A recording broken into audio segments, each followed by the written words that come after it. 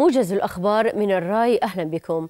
خلال اتصال هاتفي مع خادم الحرمين الشريفين الملك سلمان بن عبد العزيز عبر أمير البلاد الشيخ صباح الأحمد عن إدانة الكويت واستنكارها الشديد للتفجيرين الإرهابيين اللذين استهدفا أحد المقار الأمنية قرب الحرم النبوي الشريف والتفجير الذي وقع بأحد المساجد في مدينة القطيف. مشيرا إلى أن هذين العملين الشيطانيين يتنافيان مع تعاليم الدين الدين الإسلامي الحنيف ومع كافة الشرائع السماوية والأعراف والقيم الإنسانية.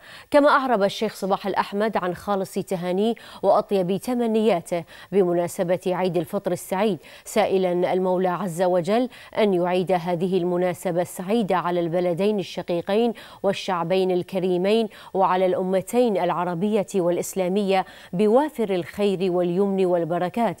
وقد شكر خادم الحرمين الشريفين الأمير على هذه البادرة الكريمة التي تجسد عمق العلاقات بين البلدين. كذلك تبادل الأمير برقيات التهاني والتبريكات مع عدد من القادة والرؤساء بحلول العيد.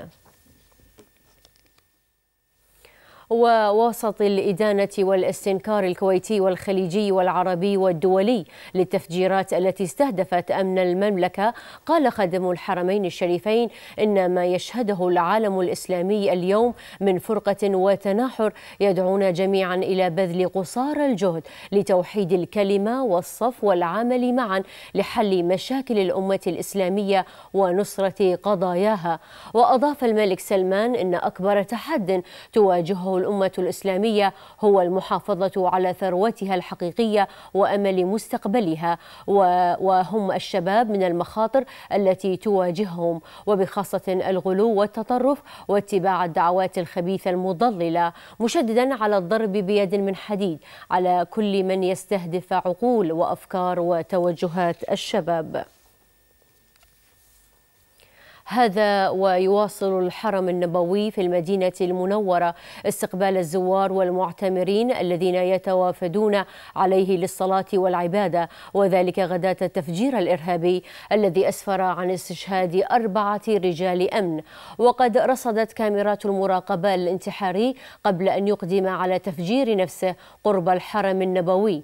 فيما أكدت وزارة الداخلية السعودية أن اعتراض رجال الأمن للانتحار في حادث جدة أو في المسجد النبوي ساهم في منعهم من تنفيذ جرائمهم وإنقاذ حياة عشرات الأبرياء.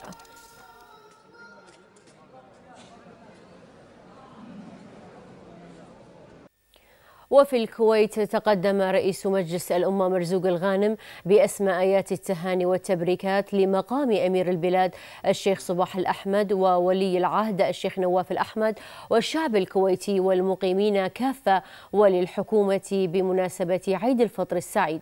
وأكد الغانم التزام نواب الأمة بالتوجيهات السامية والالتفاف حول القيادة السياسية في مواجهة كل ما يمس أمن واستقرار الكويت وتحقيق آمال الشعب الشعب الكويتي نحو الأمن والرخاء والنماء. كما عبر عن تهانيه للحكومة مؤكدا على الرغبة في استمرار التعاون بين السلطتين من أجل تحقيق مصلحة الكويت في المجالات كافة. بدوره أكد وزير الداخلية الشيخ محمد الخالد حرص الوزارة على مواصلة توجيه الضربات الاستباقية الهادفة إلى تحصين البلاد من شرور الإرهاب مبينا أن أمن الوطن وسلامة المواطنين خط أحمر لا يمس. جاء ذلك خلال اجتماع ترأسه الخالد بحضور عدد من القيادات الأمنية لاستعراض الموقف الأمني والاستعدادات وخطط عيد الفطر السعيد والاستماع للتقارير الميدانية الميدانية والخطط الوقائية والمرورية. من جهة أخرى شدد الخالد على رفض أي إساءة أو تشكيك أو تقليل من حجم الإنجاز الذي تحقق مخاطبا المشككين بالقول أن من لديه مكاسب سياسية أو انتخابية فلن نسمح له بأن يقترب من الأمن ولا بأن يمس رجاله. اختتمت فعاليات دورة المرحوم عبد الله مشار الروضان الرمضانية السابعة والثلاثين لكرة القدم حيث استمرت الدورة من الأول من شهر رمضان المبارك بمشاركة 84 فريقا. وتمكن فريق الخليج للكيبلات من تحقيق لقب الدورة بفوزه على فريق البنك الدولي في المباراة النهائية بالركلات الترجيحية بعد انتهاء الوقت الأصلي للمباراة بالتعادل بثلاثة أهداف لكل منهما.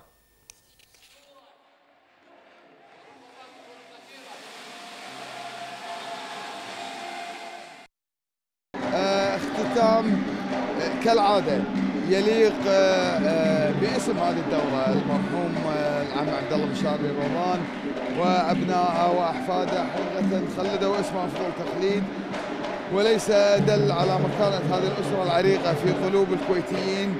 والخليجيين. إحنا شفنا التواجد اليوم إلا هذا الحضور الكبير والمميز من داخل وخارج الكويت.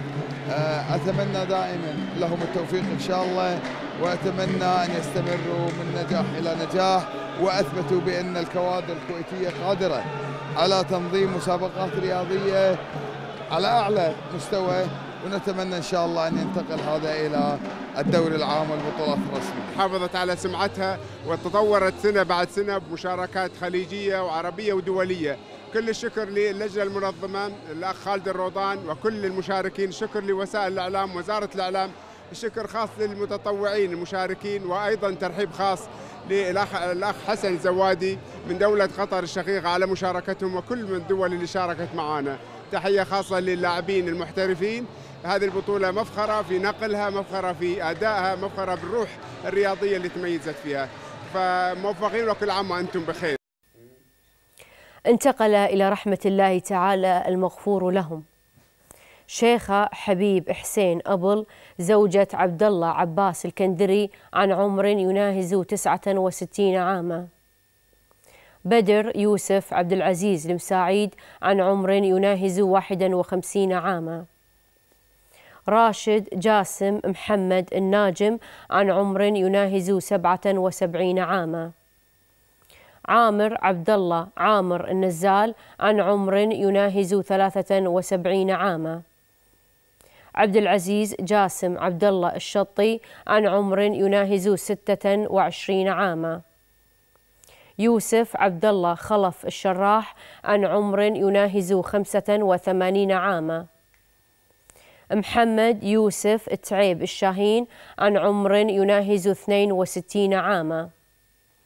عبد الله حمود مجبل الصويلح عن عمر يناهز 15 عاما. شاه عبد الله عيسى الوزان عن عمر يناهز 62 عاما. إنا لله وإنا إليه راجعون. وقبل ختام الموجز نود أن نلفت عنايتكم مشاهدينا إلى أن الرأي سيبدأ اعتبارا من الغد ببث نشرة الأخبار يوميا في تمام الساعة التاسعة مساء. كونوا على الموعد بأمان الله وكل عام وأنتم بألف خير.